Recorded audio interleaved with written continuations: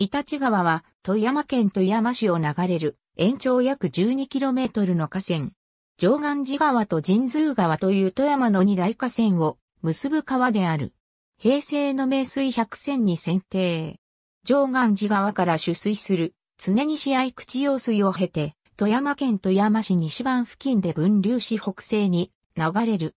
しばらくは田園地帯の中を流れるが、周囲の風景は次第に住宅地へと変化し、富山市の中心部へと流れていく。富山市北部にある工業地帯の脇を流れ、富山市工人町で神通川に合流する。富山駅北の牛島港門で、不岸運河関水公園と結ばれている。以前は上岸寺川から分流していたが、1891年の用水合口事業実施の結果、イタチ川は常に試合口用水から取水する形となった。かつては富山市中心部から1903年にかけて行われた神通川の長谷越工事により神通川は市街地西川の流路に徐々に変わっていった。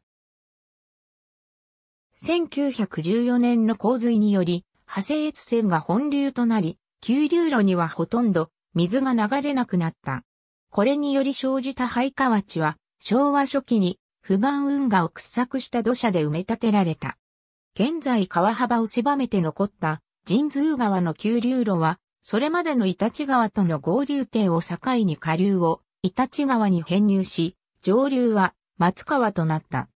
角川玄吉は富山連隊にいた1945年8月1日深夜に富山大空襲にあった時、イタチ川の川淵でホタルの大群に出会い共嘆したという。芥川賞を受賞した宮本明の小説、ホタル川の舞台となっている。1987年に映画化。ありがとうございます。